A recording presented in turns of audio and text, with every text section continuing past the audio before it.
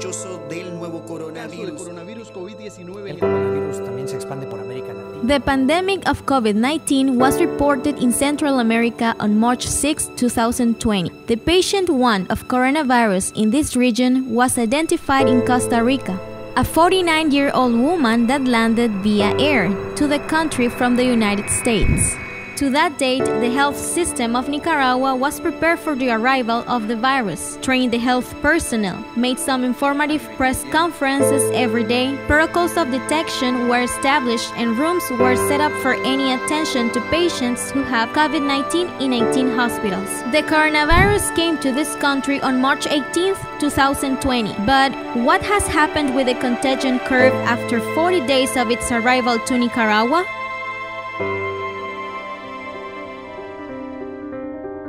On March 26, Nicaragua presented the 0.16% of positive cases of COVID 19 in Central America. The case 1 of coronavirus was reported on March 18, a 40 year old Nicaraguan citizen who came from Panama. After two days, there was another case. The second imported case would be a 47 year old man with critical conditions of health.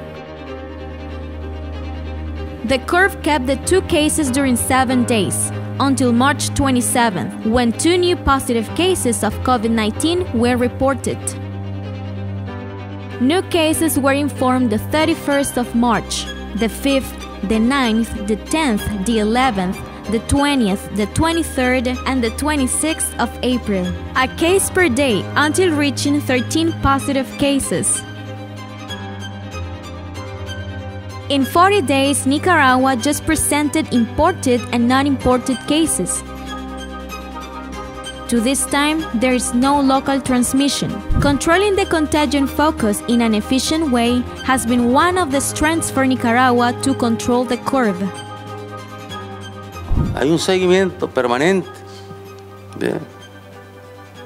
Igual de los casos que entran ¿ve? y se les encuentra que tienen eh, señales que podrían tener el virus, se les aísla, se les atiende y ya cuando pasaron el periodo de aislamiento, bueno, salió bien, ya sale pa- para su casa.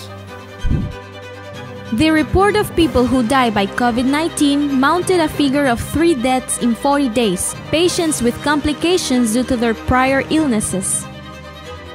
And despite the medical efforts on March 26, the first victim died. And it was the only death in March. The curve of the deaths increased in two more victims the following month, between the 18th and the 23rd of April 2020. Ellos me están informando que él ya, ya estaba, a él se le había bajado la presión, ya había sido la segunda vez. En eso también, en- al bajarse la presión, creo que complicó un poco el respirador, el respirador que él tenía y comenzó también problemas en el, en el riñón y posteriormente tuvo un paro. Nicaragua does not have a collapse in its hospitals, neither of funerals. The authorities have informed that the pandemic has a very low advance and that keeps the country in phase 1. La pandemia ha avanzado lentamente. No es que no haya entrado en Nicaragua, claro que entró, pero su avance ha sido lento. Regarding the number of recovered patients, the first good news was gotten on March 31st, after doctors dismissed the patient number 1 of COVID 19. In total, 7 out of 13 positive reported cases have recovered. To this date, the curve of the positive cases have been kept under control.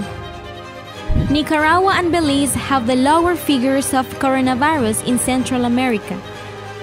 Both countries have demonstrated an effective handling of the pandemic.